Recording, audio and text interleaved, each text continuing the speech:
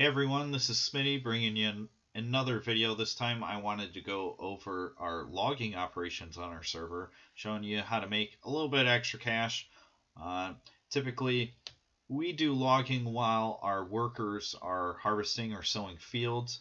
Uh, you know, you get a whole fleet of workers out there and you need something to do.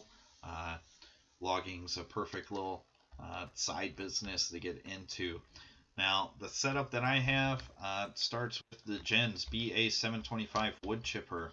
Now, this guy is pretty sweet. It has this nice big inlet to it, so it's very easy to just have piles of wood stacked next to it, and you know you can just keep on throwing them up in there. Uh, it's really easy to throw logs. Uh, and let's see, the Jenz is under forestry equipment it is $64,000. Now, there is a more expensive unit, which uh, my group we tried first, which is the 583Z. Um, this, I, I didn't quite like it as much. It doesn't have a, as big of an inlet to throw the wood into, but it does have a little crane. So you can drop trees on the side of the road, pull this guy forward, and use the crane to just pick up whole trees and feed them into the chipper. I didn't like the controls for that crane, and that's why I uh, decided to switch over to the 725. Both of these can be pulled by a tractor, which is nice. It's a nice little mobile uh, logging operation. Uh, when we first started, we actually used this guy, which uh, converts logs directly into wood chips, which are immediately sold. So you know, this is nice, but the fact that it doesn't move is kind of a pain in the butt. Uh, you, you don't want to spend $72,000 for every little small area. Uh, transporting logs is a huge pain in the butt.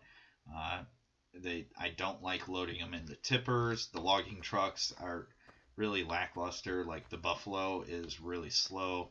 So I, I just I the, I'll, I'll show you why this ends up being just a little bit faster. So, the Scorpion King is just amazing. This is like the best piece of equipment in the whole game. It's really easy to use. It's fun. You know, uh, it is $317,000. So, it is quite an investment to get it going. But basically, just drive right up to a tree and see if I can ever line this guy up correctly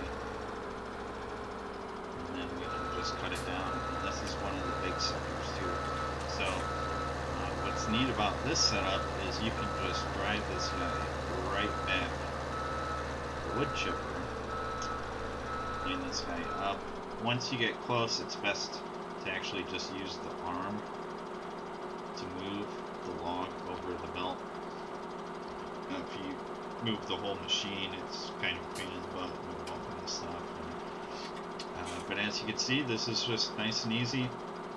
I am just cutting in one meter lengths, and the reason for that is especially with these big trees, if you cut a two meter length, uh, they'll, if some of them don't load in correctly, a two meter trunk of this tree is too heavy to pick up by hand.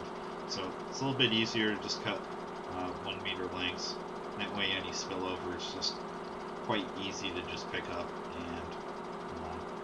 right into the wood chipper. So as you can see, that back conveyor belt has sawdust going up it as the wood's feeding in. Now that's how you're going to know when your tipper's full. If you keep on feeding logs into it and the sawdust stops like it does right there, now if I was still feeding logs and that stops, it means that your tipper's full. Now this uh, this wood chipper does have 5,000 internal storage, so it's not the end of the world. But if you continuously feed after that storage fills, the logs just disappear. Uh, so you're losing, you're spending time, and you're not getting anything out of it. So, now that you have all of these wood chips, what do you do with them? Um, you can drive them to the mill uh, and sell them. Uh, you can see the price for uh, wood chips is very low right now. The sawmill is the only place that will take them. Uh, so it's only 250 right now. I've seen it go as high as 400, 450 maybe. Um, but I don't like driving all the way across the map uh, every single time this fills up because it fills up very quickly. So what I did is I have this little setup here. Now these right here are heating plants. You can find them under placeables. They're $68,000 and dropping wood chips will sell uh, produce heat and earn money. So you just have a series of belts set up. Um, originally, I just had one of these small conveyor belts feed into this guy, and I just had one of them. And the issue is, is that uh, if that tipper is full, there's so much sawdust that it'll spread out so far that uh, that conveyor belt it goes beyond the reach of that conveyor belt to pick up.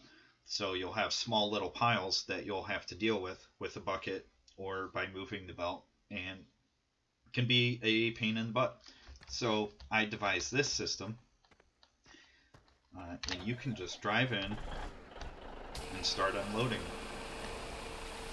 And you can see all six will start to pick them up.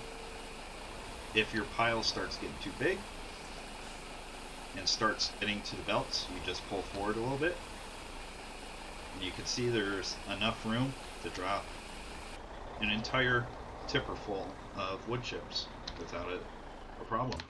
So, as you can see, my money is ticking up. Uh, as far as I can tell, the price that you get uh, by selling it this way is proportional to the wood chip price at the mill. So if that price is low, you're going to get less money. Uh, but like I said, this isn't uh, for a sole source of income. It's just something uh, extra to do. If you have a Scorpion King, you can jump into it and get a full 59,000 wood chips before any of your workers' harvesters are full. So it's a nice little side project to do. Uh, hope you guys like it. If you have any ideas on how to improve it, let me know. All right. Everybody have a good one.